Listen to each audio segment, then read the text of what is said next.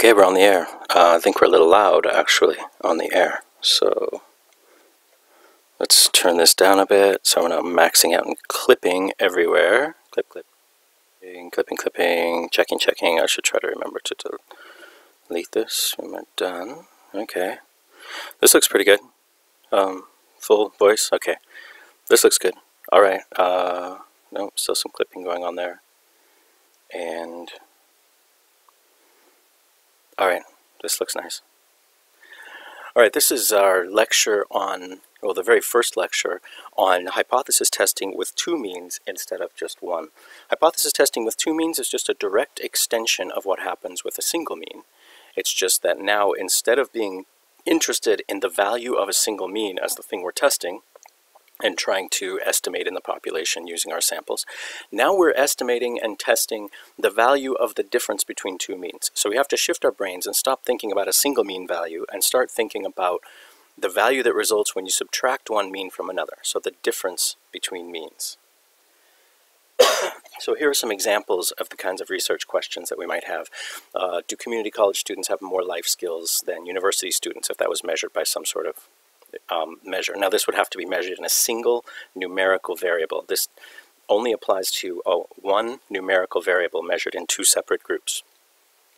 Or are there more symptoms for some condition or disease in other in men versus women? So you'd have these two groups, men versus women, mean for men, mean for women. Is diagnosis accuracy improved by training? Now this is a little bit of a different situation the implication is that there would be uh, a group of people who are being trained to diagnose something, let's say doctors, and uh, a training program was the intervention. And so you'd estimate their accuracy in diagnosing by giving them a test before the training, and then you'd give them the same test after the training. Same group of people measured twice, but you'd still have two means. And there's a different procedure for doing that that we'll learn in a few lectures. First, we're going to focus on this issue of um, two separate groups of cases. So does Duracell or Energizer last longer? You'd probably get a random sample of Duracell batteries, a random sample of Energizer batteries, and then see how long each one lasted. And take the mean from each group. Is Finnish or Navajo easier to learn? You might take a group of people and have them learn Finnish and another group of people to learn Navajo and or you could have the same group of people learning both and measure how long it took or the difficulty in some way uh, of learning each of those which type of TV show has more acts of violence, action, adventure, or comedy? And so that's two separate groups of individuals or cases. Each individual would be a TV show here, and you'd randomly sample action adventure shows and then randomly sample comedy shows. Get the mean number of violent acts per hour for action adventure, the mean for comedy, and then compare those two and see which one was higher. So when you have two means, then we're going to start with the situation well, we always have two groups of observations, and we're going to start with the situation where that actually means two groups of cases, though, as I've just mentioned, it doesn't always mean that.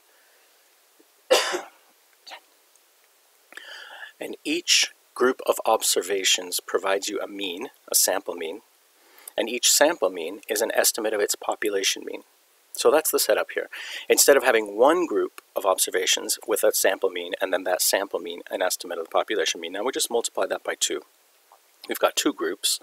Each group has an estimate of the population sample mean. And the research question we usually have is, are both, are, are the population means equal to each other? The null hypothesis is that they are equal. The alternative is that they're not equal. And this becomes interesting. So do Duracell batteries last longer than Energizer batteries? The population mean of Duracell would be like maybe mu1, and you might make mu2 the population mean of Energizer. So you'd sample from each of those groups, trying to estimate the mean and see if they're the same. So asking this question of the population means being equal is equivalent to saying, did the samples come from the same population, or are there two different populations that they came from? So how do we do this? We reduce everything to differences. So in statistics, it's very common to try and come up with a single sampling distribution of something or other. And to do that, then you have to have every test or every situation or every group or something reduced to a single number.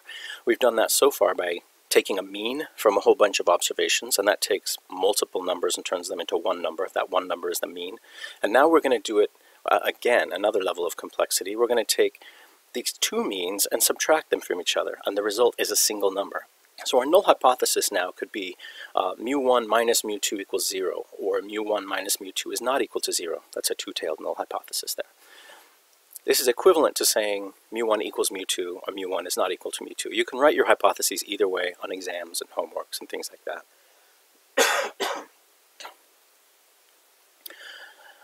so if the sample mean is an estimate of a population mean, like so, here's your sample, and then you imagine in the population, all these values came from some population, and then your sample mean is your best estimate of that population mean. Here's your sample mean here, and your best estimate of your population mean up here.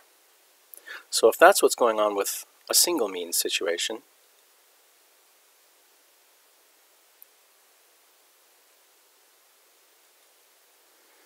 and I can't advance slides. Oh yeah, those are. And then you've got this sampling distribution of means that is implied, and your sample mean fits somewhere in that sampling distribution of means. And that's a t-test or a z-test. And if your sample mean is really far over here, then you have a small p-value, or really far over here, you have a small p-value going that way. If it's really close to the population mean, well, the null hypothesis population mean anyway. We don't really know what the population mean truly is, we, we guess.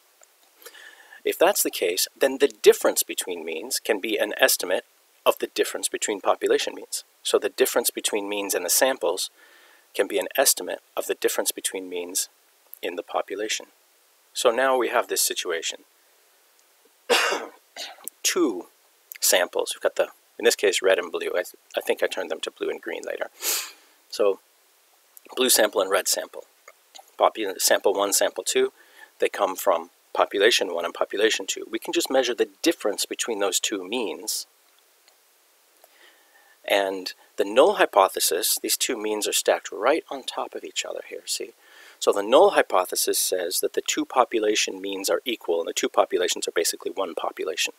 Now the dashed line is always my little shorthand indication of the raw scores, because this is the little diagonal thingy here, graph I made. That's my representation right now of the um, sampling distribution of means. But this dashed line, the gray dashed line, is the representation of the raw scores. So the two populations of raw scores are equal and the two populations of means are equal according to the null hypothesis. So we can construct a sampling distribution not just of means, but of differences between two means. So we imagine all possible sample means from population 1 and all possible sample means from population 2 being paired up in all possible ways and taking all possible combinations of mean 1 minus mean 2, mean 1 uh, minus mean 2, and that forms this green distribution up here, the distribution of all possible sample means, or sorry, all possible differences between sample means from population 1 and 2, if the two populations are the same. So we could make it of anything, like if the two populations had a difference of five points or something like that, but we don't. We say the null hypothesis mean is always zero in these cases. There are ways to make it otherwise, but nobody ever does it, so we're not going to talk about that too much. And then we take our sample mean, and we see where does it fit. Now, the reason this sample mean went over to the left here is because it's x bar 1 minus x bar 2. So this distribution is all possible x bar 1 minus x bar 2's. That's why I put that on this little line here. Down here it says x bar to remind myself that everything in this sampling distribution here is a mean, a sample mean. Up here, x bar 1 minus x bar 2 reminds me that everything in this distribution is a difference between means, and the order matters. Uh, it doesn't really matter which way you specify it, but you have to specify it the same every single time throughout your your hypothesis and your tests and your results. You've got to keep that kind of straight most of the time. So if it's 1 minus 2, blue minus purple, well, 1 is lower than 2. So the mean here, this, this vertical pale blue line, is lower than this vertical red line, right? So the group 1 mean is lower than group 2, so 1 minus 2 is a negative number. Since the middle here is 0, then we know that this difference in sample means that we got from our sample compared to all possible differences in sample means from all possible combinations of sample means if the null hypothesis is true, then that difference has to be to the left of zero because it's going to be a negative difference. The null hypothesis says that the average difference will be zero. The average difference between any two sample means will be zero. And our difference is less than zero because a lower number minus a higher number is negative. And then that gives us our t observed, and the area beyond that is the p. And then if that's less than alpha, we reject the null hypothesis. So once we get to this point of specifying the sampling distribution of differences between means, then we've got a setup that's pretty much the same as everything else we've been doing. So the null hypothesis is what we've always talked about before, nothing to see here, etc. And in differences between means, it's literally always this. Now there might be some rare exceptions to this, but you're never going to find them, so I'm not going to talk about them in this undergrad course. You could specify the null hypothesis, say that difference in means should be plus 2.7 or minus 12 or something like that, but nobody really does that. It's so incredibly uncommon that I could search for a long time before I found an example. Everybody just says there is no difference between mu1 and mu2. So when we specify the distribution according to the null hypothesis, it's all possible differences between sample means. Sample means uh, sample mean 1 that came from population 1 with the same sample size as our sample size, and sample mean 2 that came from population 2 with the same sample size as our sample size. We're assuming that our samples are just some random sampling variation of all possible samples that could have come uh, out of those populations of, of raw scores and calculating those means, and that the means are the same because the null hypothesis assumes that the means are equal. now there's a little flip, uh, might not be critical that you really get this, but it sure will help. We've got a distribution of the null hypothesis, and then the null hypothesis says all possible sample means came from a situation in which the population means of, of population 1 and population 2 were equal, so mu1 equals mu2. Therefore, you could you can certainly get a sample mean from mu1 that's higher than mu2 or mu2 that's higher than mu1 so you can get an x bar 1 that's greater than x bar 2 or an x bar 2 that's greater than x bar 1 all those are possible. But just like random sampling means random sampling differences between means there will be variability and we're really interested in that variability. We've got to specify it. That's the standard error. But uh, on average if the null hypothesis is true the mean difference so some differences, this will be bigger than this, and sometimes this will be bigger than this. But on average, if the null hypothesis is true, the mean difference will be zero. That's what the null hypothesis is saying.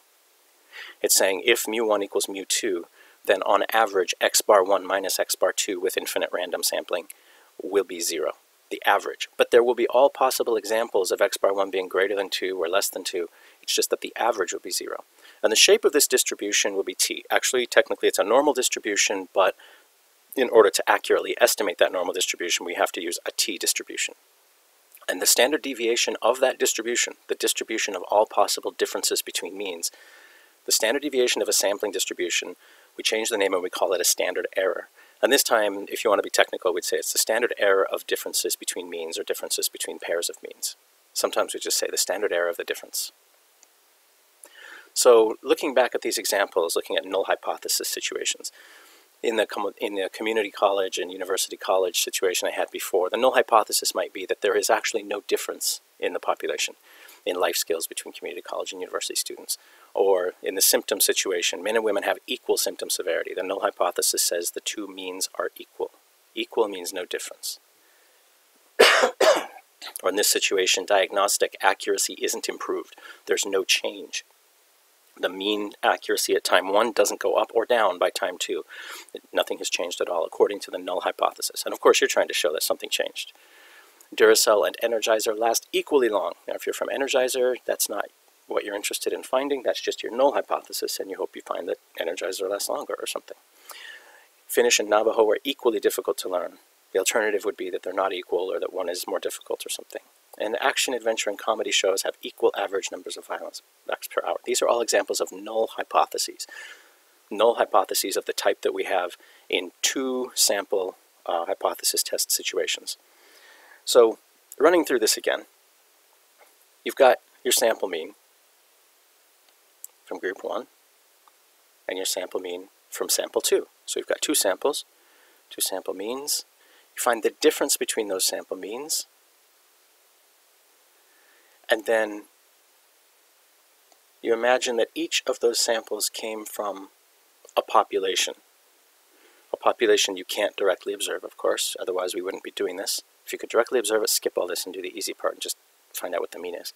But we can't observe it, so we have to do all this. And the distribution of all possible means is probably not the same, but the null hypothesis says those two means are the same. In the population, those two populations are identical. And that the only reason why it looks like there are any differences between means is just in, in our sample, it's just random sampling. Sometimes random sampling makes it look like there are differences, right?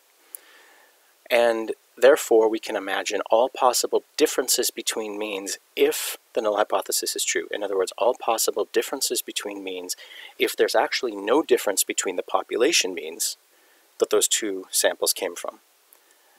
And the shape of that will be normal, or t as we have to use a to estimate normal. The standard deviation will be the standard error. So as soon as we know that, we know we can use the normal approximation to figure out p-values and alpha. Well, you don't figure out alpha, you just set it, but you can figure out p-values. And so if you've got this situation, it doesn't matter whether the two means are really high or really low or anywhere in between. All that matters is that they're the same. So we don't even bother saying what the two sample means are when we're doing a null hypothesis test. Or sorry, the two population means are. We definitely say what the two sample means are. Um, we just care that the two population means are equal. So that's all we have to say, is that the two population means are equal. And if they're equal, then we have that same sampling distribution of differences between means according to the null hypothesis. So let me just go back through this little animation again. Notice that the green distribution doesn't move. That's on purpose. I, I made this animation on purpose. Because as long as the, sam as the population means are the same, then all possible differences between them look exactly like this with a, a mean of zero if, you know, assuming the null hypothesis is true. So if the two population means are the same, then that's the distribution. This green distribution is what it is, and the mean of that is zero. The, the average x bar 1 minus x bar 2. That average value is 0. So our x bar 1 minus x bar 2 fits somewhere in there. And in this case, it doesn't fit on the positive side because this is the same situation as before. We have, if blue is sample 1, then um, sample 1 mean is actually lower than sample 2 mean, so it needs to be a negative value, 1 minus 2. Now if we we're calculating everything with 2 minus 1, and you can do that. There's no problem. Just remember to reverse everything, and then this would be a positive value. So you've just got to keep straight which is which. Once you make a decision, I'm going to do 1 minus 2. Keep it consistent through your whole analysis. so hypothesis testing ends up being the same as before. You specify your hypotheses, you draw your graph, put stuff on it, you find your t critical, you calculate your t observed, you compare observed to t critical, and then you make a decision about the null hypothesis and state your conclusion. That's it. It's the same, same thing we've done before. The technical part is calculating t observed, and you'll be wrapped up in that for a little while the first few times you go through this by hand. But that will become easy if you do this 5 or 10 or 20 times. It'll become as easy as your times tables or easier because you don't really have to memorize very much. You can just look at formulas. But this technical part always takes the same, same, same format. Every time we do a hypothesis test, it's always some z-like score that results from taking a point estimate of something we're interested in minus the value that the null hypothesis says it should have in the population divided by the standard error of that thing because we're always specifying a sampling distribution of the point estimate. And so this is how we fit the point estimate in with all possible point estimates that could have happened. So in this case, the point estimate is no longer a sample mean, it's a difference between two sample means. The null value is almost always zero. The standard error it just has a formula, and I'll show you. The formula used to be um, n over, or sorry, uh, standard deviation of the sample over square root of n minus 1. Well, now it's slightly more complicated, but it's the same idea. You just find the formula, look it up. It'll be provided on exams. So these tests, questions that I've been using to hopefully make your mind run through things multiple times and kind of get things organized. What's the sample point estimate? Now it's the difference between two sample means. It was a sample mean, now it's a difference between two means. What's the sampling distribution of it? It's called the sampling distribution of differences, and it's composed of all possible differences between sample means. It's t-shaped, the way we estimate it, although we're estimating a normal distribution, and it has a degrees of freedom, and you have to look and find what the degrees of freedom are. There's just like there's a formula for the standard error, there's a little formula to find out what the degrees of freedom are for every different types of different type of t-test. So you just know that formula. What is the mean of this sampling distribution of differences? Is zero. That's easy. It's easier than the one sample situation. You don't have to think carefully about what your null hypothesis mean is. what's the standard error? Well, it depends on the test. It's called the standard error of the differences, uh, or the difference between means, but you just have to look it up. So in this example, I'm just going to run through these examples now, not with really any calculations, just to show you how things work out. The null hypothesis, there's no difference in life skills. Alternative, let's say it's a directional, hyper, uh, directional alternative hypothesis where community college students have more life skills because, you know, they have to like go pick up the kids from daycare and have a part-time job off campus, which I realize some university students do too. I certainly did. Um, let's say you use some sort of um, questionnaire, the life skills assessment scale or something like that. Well, then we could imagine that the distribution of means might look like this. Now, this is a little software application I wrote in R that just shows the distribution of the confidence intervals. So these are confidence intervals for mu1 and mu2. So mu1 is community college students and mu2 is university students. The way I specified it, I made up some fake values using some randomization. Um, and this is the life skills thing. So the community college students have life skills of 46.3 or something like that. Community college and university students have 43. so this is kind of our best guess about what might be happening in the population. However, the null hypothesis says that the differences between means are exactly equal. So this really isn't the null hypothesis. This is just confidence intervals for each one. And uh, so we might say that this is how things turned out. So I made up some fake data. We would have t critical on the positive side here. We'd find the right degrees of freedom. We'd look up our t critical. This is the distribution of all possible differences between means. These are raw score differences. The middle is zero. And for t-scores, the middle is 0, 2. So t-scores are just different scores standardized. But now you'll have different scores not standardized. So this is points on this scale. And then this is different scores standardized. Now this is 2 point, I don't know, 7 points or something like that on the raw score scale that turns into a 1.7 t-score. Yeah, there's like 1, 2, uh, oh no, sorry, the t observed here is 3.2 or something like that. So like 3.2 difference. And so in this case, the difference was like 3.2. So the observed value just goes exactly where the difference goes, and then we where the raw score difference goes. We turn that into t-score, which turns out to be about 1.7. Can't you see it's not quite to 2 yet? That, there's not all possible values on these scales. You got to stop your software coding somewhere. Anyway, let's look at this other example. Men and women have equal symptom severity, um, but the alternative hypothesis says, let's say two-tailed, they have different severity and they use some sort of symptom severity rating scale where high is bad. Mu1, let's say 1 is men, 2 is women, and men have like a 10.3 something, women have like an 8.7 on that scale. And this is the distribution, our, our best estimate, confidence intervals. But the null hypothesis says these two means are actually equal. So the null hypothesis says that the difference should be like this. Here's the absolute differences in scores. Here's the t-score of the, of the absolute differences in scores. And so our t observed is negative 1.8. So, um, oh, I think I said this should be, yeah. Oh, this is just my t observed having a glitch. It should just say 1.78 there. Sorry, my coding wasn't perfect there. Oops. So anyway, t observed is positive 1.78 because this is 1.78 t-score points above this, which is like 1.6 or something raw score points above it. And because it's a two-tailed test, we have an implied t. You don't have to worry about that. All you have to worry about is t critical is in these tails, because alpha was 0.01 here, and our t observed does not make it. So we fail to reject that null hypothesis, and we say men and women have similar symptom severity. Let's say diagnosis accuracy improved by training. The null hypothesis says it is not.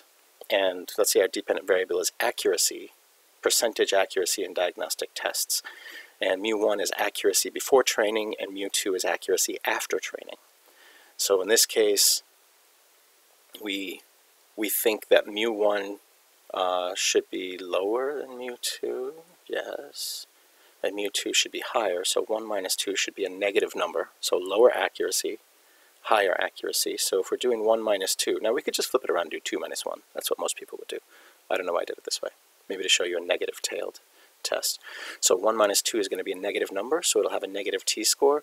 t-critical is negative 1.67, which we would have found by using the right degrees of freedom, looking in a t-table. And our t-observed, which we used by using the formula, which we found by using the formula, is negative 2.25. It's in the rejection region. It's in the right direction. Therefore, we reject the null hypothesis. And we say, yeah, diagnostic accuracy was totally improved. And now Duracell versus Energizer. Say number of hours that it takes to drain the battery. Let's say we did a two-tailed test. Say that there was no difference or there is a difference. Uh, again, I've got this problem. There's a negative up there. or there shouldn't be. I'll have to recode this and fix that bug. Anyway, here's the estimates of what's going on in the population based, based on what the sample means are. And totally different from that, the null hypothesis says these sample means should be exactly equal. And if they were equal, then having this amount of difference, 5.7 to 6.1, which is hours, which is what I imagine, uh, is actually pretty predictable. It's like a 0.4 hour difference. It's not a very big difference, apparently. It's not that many standard errors. It's only like one standard error, where it needed to be about two standard errors to reject the null hypothesis. So we say Energizer and Duracell don't have any difference. Finnish and Navajo are equally difficult to learn, but maybe somebody says Navajo is more difficult, you know, the code talkers and all that. Percent mastery after one year of intensive training. Here we go. Let's say we took Finnish minus Navajo here, and we found that 1 is greater than 2. And if we're doing 1 minus 2, and here's a little clue saying there's the direction of 1 minus 2. I always put these little clues on my note on my graphs so I don't lose track of what I'm doing. Yeah, it was in the right direction. T observed is 1.81. T critical was smaller. So T observed is in the rejection region. Our difference is big enough that we reject the null hypothesis that in the population the two means are equal. We say they're not equal. We say Finnish is harder than Navajo or something like that, which I have no idea about. I don't know either one. I've just heard people say they're hard languages to learn. So action, adventure, and comedy shows equal uh, violent acts. Now, sometimes we specify our null hypothesis in words in a certain way that implies a one-tailed test, and it certainly does. But then we decide to do a two-tailed test just in case. And some people do this. And so I wanted to show you that example that that happens here. So action, adventure, and comedy. I think I did comedy is one and action adventure is two um, I did a two-tailed test. When you do have a two-tailed test, it kind of doesn't matter whether you do 1 minus 2 or 2 minus 1, except that it has to be consistent throughout, or else you might make an, an error here and there. So, no, no significant difference, no rejection of the null hypothesis, which should alarm you because why wouldn't it be different? Shouldn't, shouldn't comedies have less violence? Yeah. Or maybe your research method sucks. Yeah. All sorts of things to criticize. So these are the kind of tests we're going to learn theoretically, there's all these tests. If you have a known population standard deviation, then you've got one group, a one sample z-test, two paired groups, paired samples z, or two independent groups, independent samples z. And then all those things happen for a t-test if you don't know the standard deviation. However, we're never going to do those. We're probably not going to do the one sample z very much after this. We use it for proportions tests, but, but just for means, we're just not going to do it because we don't know the population standard deviation and that's all.